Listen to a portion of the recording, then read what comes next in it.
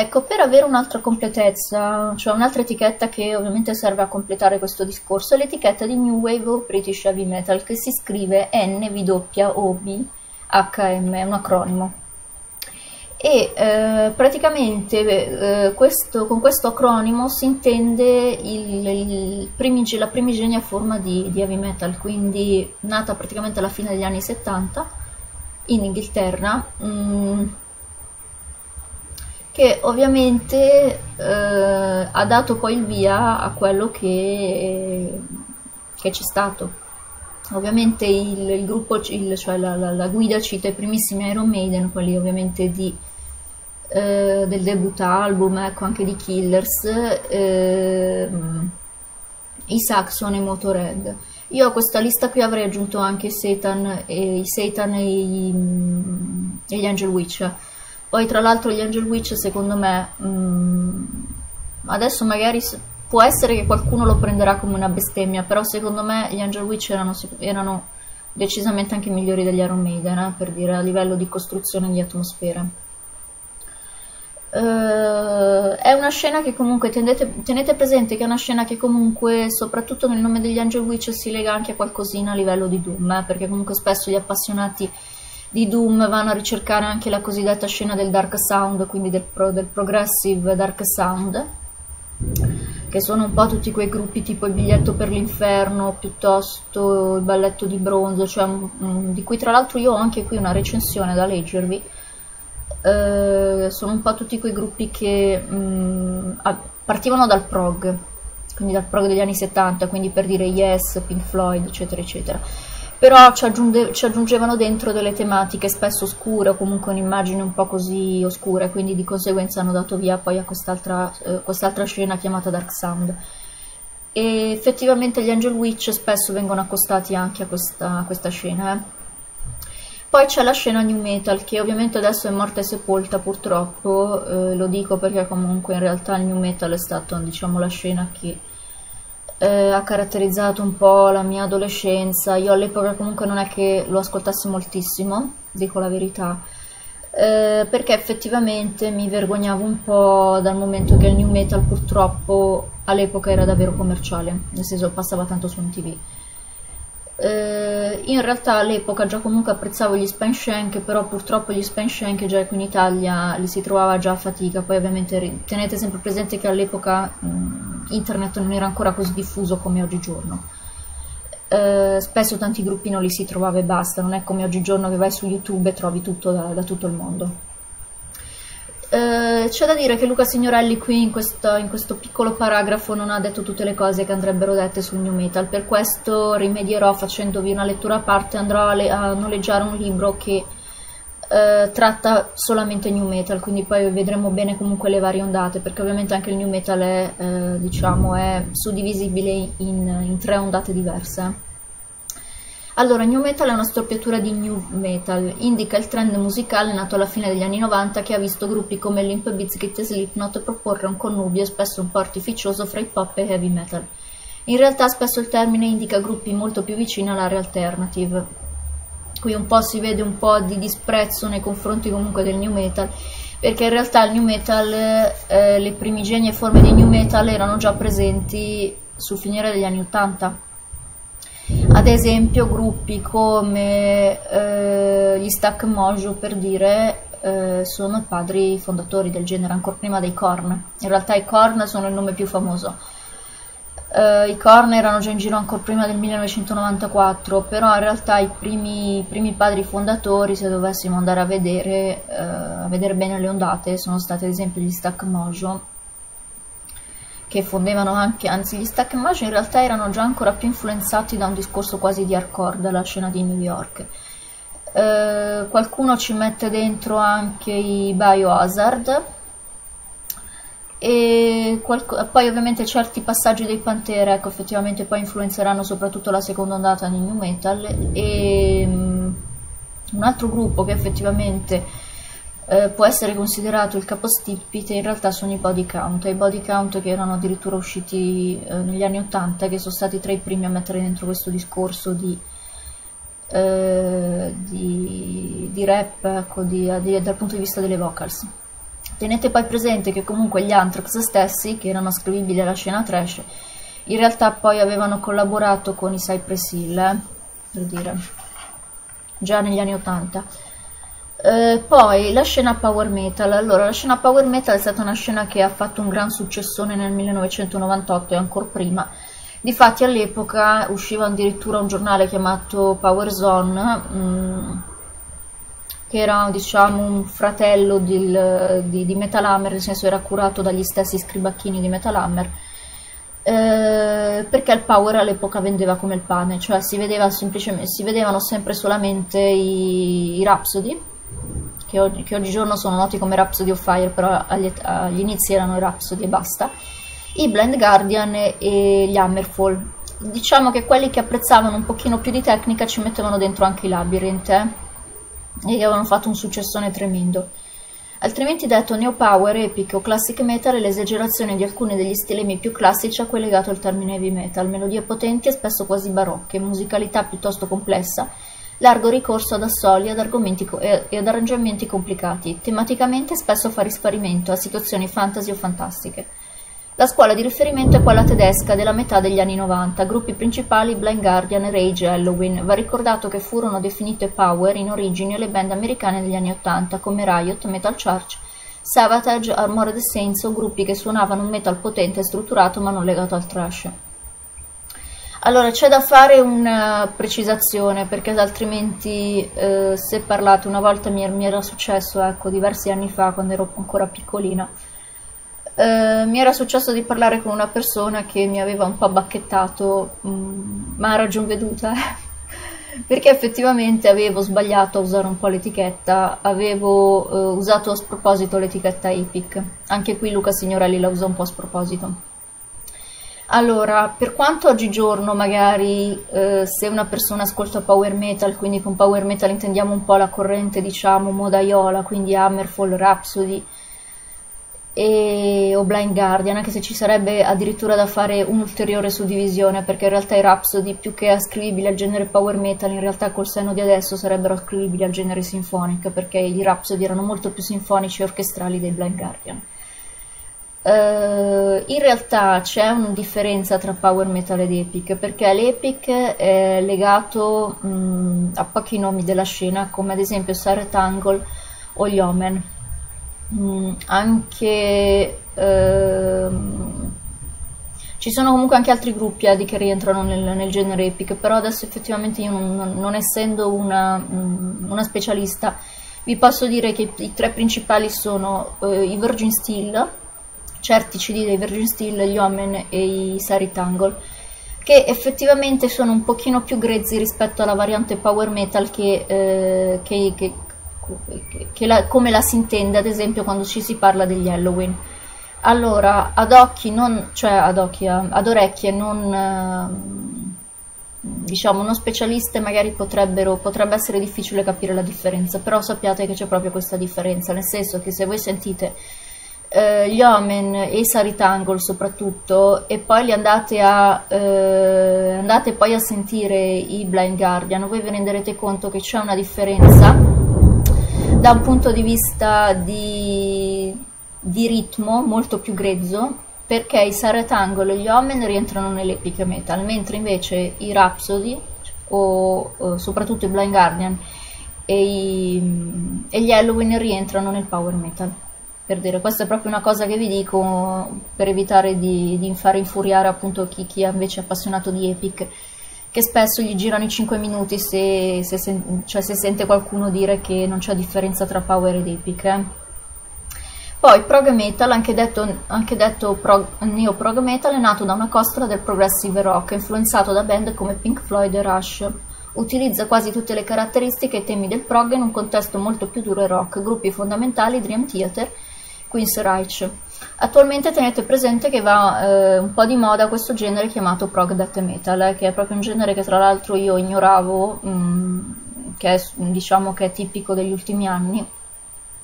Penso anche che sia saltato fuori nel 2009 da, dall'idea diciamo sommaria che mi sono fatta e che effettivamente eh, va a ripescare l'eredità dei Cynic eh, dei Nocturnus o dei Pestilence che erano più legati al discorso diciamo techno death metal e ci va a mettere dentro anche questo discorso di prog, di, spesso comunque anche di avant-garde. Ad esempio ieri ho sentito un gruppo chiamato Persephone che eh, sembravano quasi un mix tra Theater, tra Dream Theater Cynic e The Gathering, per dire, o anche Catatonia,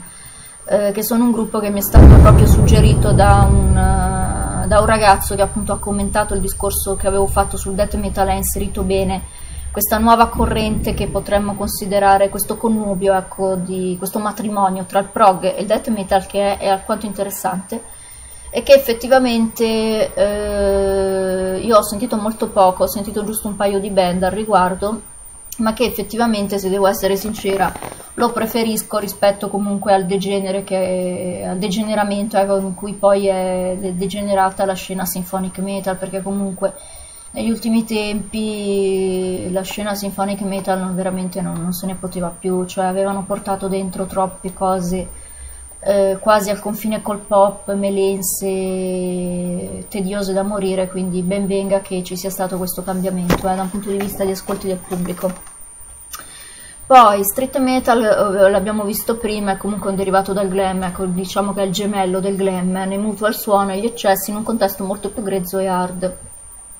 Gruppi di riferimento, Guns N' Roses, Hanoi Rocks e poi come abbiamo detto Motley Crue. Eh.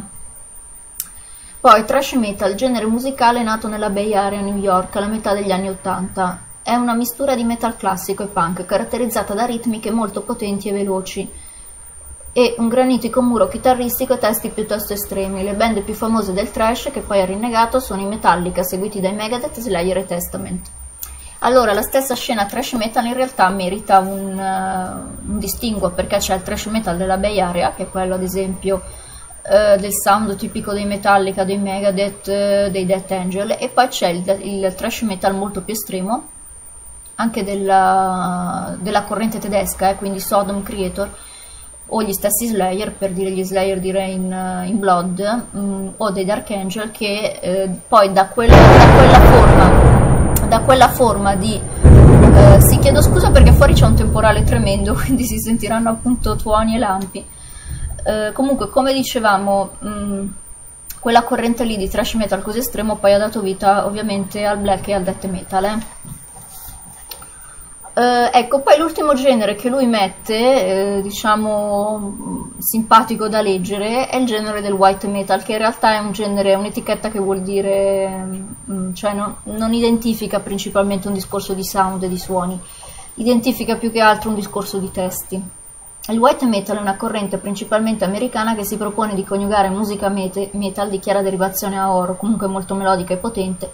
con testi di ispirazione cristiana.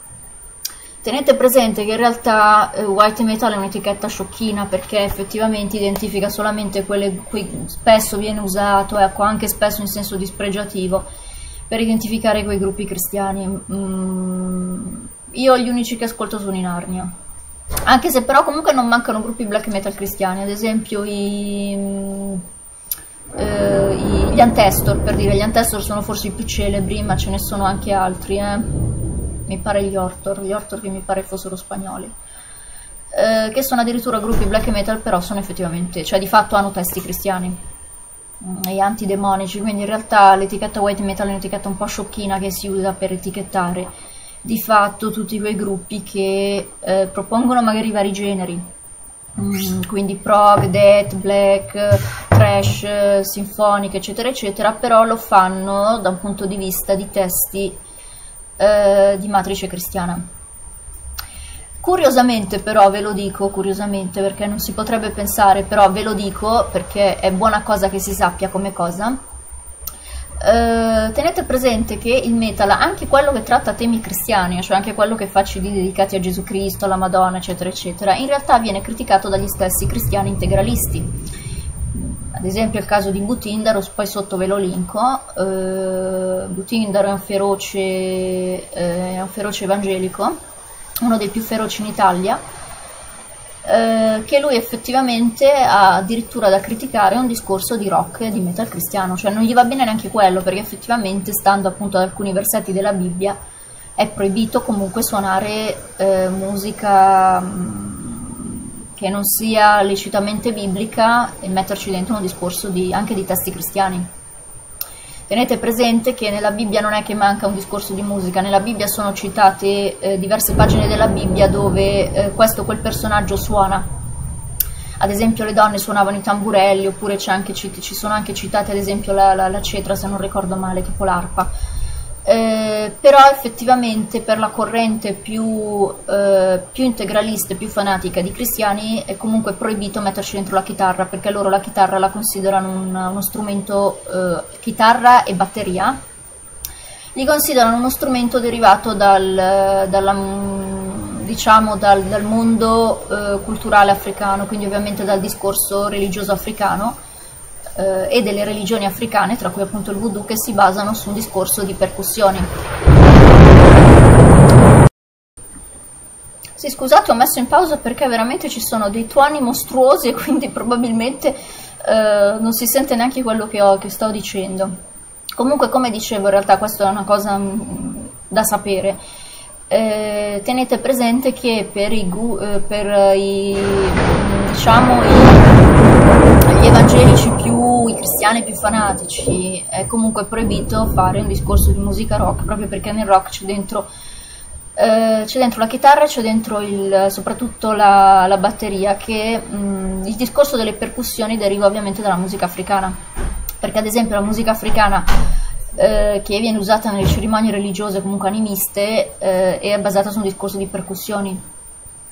quindi eh, il rock and roll in realtà nasce dal genere, eh,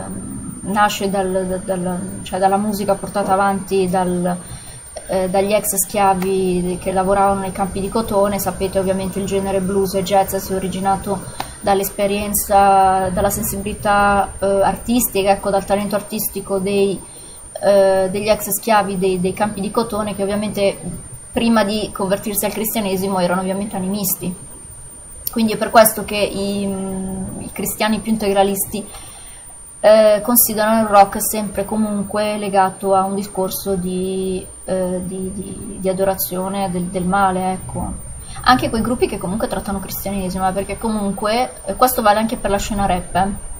perché comunque esiste anche il rap cristiano però se voi andate a vedere i siti degli evangelici che parlano di rap, anche del rap cristiano, in realtà loro eh, non possono vederli i rapper cristiani,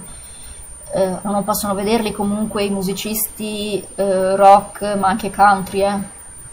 che comunque parlano di cristianesimo. Quindi in realtà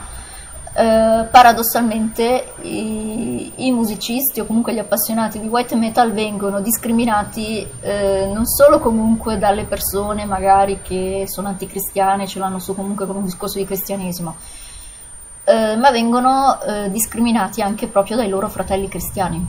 per dire, quindi un po' la cosa diciamo paradossale, ecco, becchettiana del, del genere white metal è questo, che in realtà paradossalmente eh, può essere molto più apprezzato da una persona, magari anche anticristiana, eh, che comunque magari il testo evita di leggerlo e apprezza solamente la melodia, come ad esempio è il caso della sottoscritta, eh, che non effettivamente da un, da un cristiano integralista, che lo condannerebbe sempre comunque. Io poi personalmente non ho alcun problema, questa è ecco, ad esempio spesso una cosa che forse magari non, non, non, è ben chiara, io ad esempio non ho alcun problema a intervistare gruppi che uh, hanno una, un'ascendenza diciamo nei testi, un'ascendenza, di matrice cristiana, cioè io non avrei alcun problema ad intervistarli per dire, um, perché io appunto da un punto di vista musicale valuto la musica. Ovviamente posso magari avanzare delle critiche ai testi, però se il gruppo fa della musica veramente valida, eh, io sono la prima a dire che sono validi, per dire, anche se ovviamente i testi non li posso apprezzare. Per dire, vi, vi faccio giusto questo nome, in Arnia, per dire, secondo me sono veramente eccezionali. Eh, hanno fatto dei CD che sono veramente fatti bene e vabbè, loro sono cristianissimi, però voglio dire, chi se ne frega, voglio dire, eh, il testo non lo leggo, mi interessa la musica, io spesso in Arnia li metto anche su così, tanto per, per sottofondo, certo non è che mi ci strappo i capelli, però per dire eh, non è che dico che li critico a priori perché sono cristiani e allora non possono, fare, non possono suonare musica. Eh, suonano bene, sono bravi, anzi ve li consiglio, ecco. Uh, I testi, vabbè, ovviamente se, se, non, se, non, sopportate un discorso di cristianesimo li troverete insulsi, per dire. però musicalmente sono validi, eh? e questo vale anche per gli Antestor. Uh, allora, vediamo un po' come, mm, come conclude qui. Ecco, tenete presente comunque ecco, che forse diciamo i padrini della scena comunque sono stati gli striper, eh? che comunque gli striper tenete presente che appartengono alla scena glam metal. Gli striper tra l'altro avevano un look particolare perché se ne giravano con queste tutine eh, gialle e nere a strisce. Uh, Niente, poi lui cita anche due gruppi che io francamente non conosco, i Barren Cross e i Blood, God, Blood Good, però io francamente non li conosco, quindi non vi so dire neanche effettivamente a che genere siano ascrivibili. Probabilmente comunque all'hard rock forse. Allora, in questo, in questo, glossario stranamente manca il gothic metal e ovviamente manca anche il symphonic metal. Uh, il symphonic metal forse perché forse perché all'epoca 2001 ancora non andava tanto di moda, anche se effettivamente i Nightwish eh, erano già in giro nel 1998, ancora prima. Eh, comunque lui non ha messo, non ha messo l'analisi a questi due generi, cioè il gothic metal primigenio, di nomi come eh, i Paradise Lost innanzitutto del periodo gotico, quindi 1991, poi i Tristania eh, di Widow's Weeds i Theater of Tragedy del debut album e soprattutto di Velvet Darkness I Fear e ehm, un altro nome anche se meno famoso però che secondo me è stato l'ultimo nome in campo gothic metal puro e tradizionalista sono stati The Sins of Time Beloved eh? con Lake of Sorrow Diciamo che dopo questi nomi qui ovviamente c'è stata una moria del genere perché poi di fatto cominciato, hanno cominciato a subentrare dentro queste donzelle. Eh, modello Taria dei Nightwish, modello cantante degli Epica, modello eh, cantante dei Within Temptation che peraltro poi comunque i Within Temptation in realtà del debut album Enter erano comunque ancora ancora scrivibili a un genere gothic metal perché c'era comunque dentro un, per quanto risicato, growls maschile. Mm, in realtà poi hanno cominciato a portare dentro un discorso di sinfonia, hanno abolito il growls maschile, hanno ovviamente eh, fatto canzoni più melodiche, più corte, perché il gothic primigenio poteva durare anche 8 minuti a 10 minuti di canzone, su, su un tema lenti e sulfurei. Eh eh, loro ci hanno portato dentro la melodia, la voce femminile, spesso lirica, molto più spesso in, in vena pop.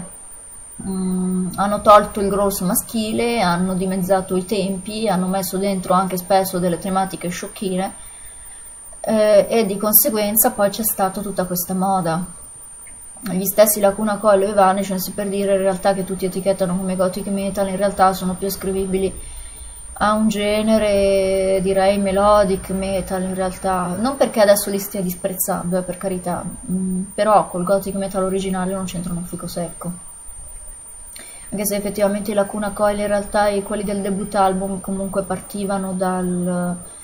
da una quasi da una, da una ispirazione di Matrice The Gathering ecco i The Gathering eh, del, del debut album di Always poi altri nomi che comunque hanno girato, comunque hanno formato la scena, appunto come dopo i The Gathering di Always e, sopra e soprattutto quelli un pochino più commerciali di Dimandillion, Uh, i Maiden Bride che vengono un po' riconosciuti tra i padri fondatori anche se effettivamente i Maiden Bride forse agli inizi rientrano più nel discorso di Death Doom i Catatonia eh, Catatonia soprattutto del, diciamo della, del, dei CD più melodici, mm, spesso anche gli Amorphis comunque vengono, gli Amorphis non del debut album, eh, da Tuonela in poi. Uh, I Sentence, che tra l'altro i Sentence dagli inizi partivano come gruppo death, death metal, uh, i Catatonia li abbiamo già detti, uh, sono un po' quei gruppi che comunque hanno formato un po' questa scena anche se poi in realtà poi loro hanno spesso cambiato genere, nel senso per dire The Gathering, da direi Automisura Planet eh, e If Then Else, poi si sono comunque virati su un discorso di post-rock, addirittura quasi con tendenze trip-hop di Matrix o Partished, o altrimenti anche ad esempio gli stessi Catatonia, per dire, hanno, sono vira comunque virati su un discorso di post-rock, quasi di avant-garde, diciamo così, come ad esempio gli Amorphis. Uh, mentre invece ecco, gli unici che un po' sono rimasti fedeli sono stati My Dang Bride e mentre i Paradise Lost si sono più evoluti da diciamo da One Second ed Icon mh, mm, si sono un po' evoluti su questo genere del, del gothic rock e non gothic metal. Uh, il gothic rock che in realtà nasce dall'eredità dei Sister Mercy a cui rimando al video che avevo fatto diversi mesi fa e dei Fields of the Nephilim eh, che ovviamente poi queste band eh, rientrati nel genere del cosiddetto gothic rock hanno ovviamente poi diciamo reso un pochino più frivolo da un punto di vista di testi e di tematiche anche spesso di look. È il caso ad esempio degli IM dei 69 Eyes a cui rimando ai video che avevo fatto su di loro con i pregi e i difetti che ovviamente sì, hanno fatto delle belle canzoni, però hanno comunque portato spesso dentro un discorso di frivolezza e poi di conseguenza si sono portati dentro le cosiddette bimbo minchia che stavano dietro a questa scena perché il cantante tal dei tali era figo, cioè proprio una cosa che io non ho mai sopportato, però che purtroppo è, un, è una degenerazione che c'è stata. Niente, allora detto questo, direi di avervi fatto eh, una recensione, mh, mm, direi abbastanza completa di, dei principali generi. Mm, comunque li vedremo ancora, eh. nel senso che questo video deve servire da preambolo, poi nei mesi, nei mesi successivi comunque vi leggerò anche qualcosina tratto da altre eh, testimonianze cartacee del tempo. Eh, vedremo comunque recensioni ai CD e quindi poi comunque approfondiremo bene. Eh. Poi sul new metal farò un video a parte. Allora, direi che eh, il discorso è stato abbastanza completo, mi pare abbiamo detto tutto quello che c'era da dire. Tenete presente comunque che di tanto in tanto escono anche delle, eh, degli esperimenti, ad esempio, eh, legati a dei gruppi più o meno di nicchia, come possono essere ad esempio la scena reggae metal, per dire, mh, mm, di cui io tra l'altro ho anche intervistato un gruppo, poi sotto magari comunque vi metto il link eh, oppure ad esempio certe cose fatte uscire da Dope Stars Inc. dove loro hanno mischiato addirittura elettronica eh, con un discorso di metal, metal in genere viene etichettato industrial electro metal, cyber metal. Eh, per questo discorso molto di riferimento molto a questo discorso di fantascienza e di cyber, comunque di scena elettronica. Uh, I The Berserker hanno tentato comunque di metterci dentro addirittura un discorso di matrice terrorcore alla Delta 9 per dire qui rimando ai video che avevo fatto sulla scena hardcore. Uh, quindi in realtà non mancano comunque connubi anche col tech, con la techno comunque con la tanto vituperata scena elettronica che tra l'altro sono cose che io apprezzo anche abbastanza anche se i gruppi sono molto pochi a dir la verità eh, qualcosina di interessante che era uscito era relativa alla cosiddetta scena grime metal che però è, mm, non è famosissima, almeno qui in Italia non credo che sia girata tantissimo, che è un po' quella scena che mischia, mm, mischia le derive di, del cosiddetto rap avanguardistico di matrice grime al, o comunque anche di matrice dub spesso ha questo discorso di metal che comunque non è male, nel senso hanno... Io ho, ho ascoltato un paio di cose ed erano cose abbastanza, diciamo che mi erano abbastanza piaciute. O altrimenti la scena avant-garde metal, come abbiamo detto, cose tipo i Sole Fad, anche spesso, qualcosina dei Soul Work forse eh, o degli Arcturus soprattutto, che sono un po' tutte le, un po', un po' un'etichetta che viene messa a tutti i gruppi che sono difficilmente etichettabili, anche, anche in parte gli Ulver, gli Ulver più sperimentali che ci mettono praticamente dentro di tutto, da sperimentazioni free jazz, ad esempio al caso dei, dei Lux Occulta per dire, Uh, a cose ad esempio relativi per dire al trip hop, per dire di matrici portishead tricky, per dire, cioè tutte cose un pochino difficili da etichettare eh, che spesso appunto si usa questo termine, ecco, avant-garde metal, che è una, un'altra scena molto piccola di nicchia. Mm. Non mi viene in mente nient'altro, ecco, a livello di approfondimenti mi pare che sia stato abbastanza completo. Mm. Niente, allora, spero che i video vi siano piaciuti e che siano stati occasioni per fare un po' di chiarezza sui generi. Se avete domande rispondo volentieri, se volete poi lasciare sotto eh, i vostri personali pareri, eh, contributi, integrazioni, anche critiche, se avete, mm, cioè magari se c'è qualcosa che, su cui non siete d'accordo eh, e volete farlo presente, lasciatelo sotto nei commenti che leggo tutto volentieri. Mm. Niente, detto questo ringrazio gli ascoltatori, ringrazio le persone che eh, sono interessate a questo argomento, che eh, diranno la loro, ecco, esprimeranno il loro parere. Uh, e niente, vi saluto alla prossima analisi. Um, ovviamente il libro io ve lo consiglio, provate a vedere, cercate di noleggiarlo nelle biblioteche, provate a chiederlo, è un po' vecchiotto, però magari col prestito inter interbibliotecario lo trovate. Altrimenti se lo volete comprare originale tenete presente che costa 14,50 euro magari se lo volete provare a richiedere nelle librerie magari ce l'hanno ancora eh, potete provare a, richiederlo però tenete presente che costa già un pochino eh, sono 14,50 euro però tutto sommato sono comunque soldi ben spesi eh, perché almeno vi tenete una, vi tenete a casa una guida per quanto sintetica al ai generi, ecco, ai generi, quindi poi comunque può essere utile anche magari per... Eh, può essere utile anche se, se, volete essere voi stessi comunque a compilare una guida, ecco, una, una breve guida al genere. Io ad esempio ne avevo fatto uscire una, l'avevo caricata sul mio profilo, e, però mi sa che appunto dovrò, dovrò diciamo riaggiornarla perché proprio in quella guida lì non avevo messo il discorso del progredet, quindi non più di tanto almeno eh, quindi mi sa che poi effettivamente la dovrò riaggiornare anch'io. Allora niente, detto questo ringrazio tutte le persone che hanno ascoltato i video.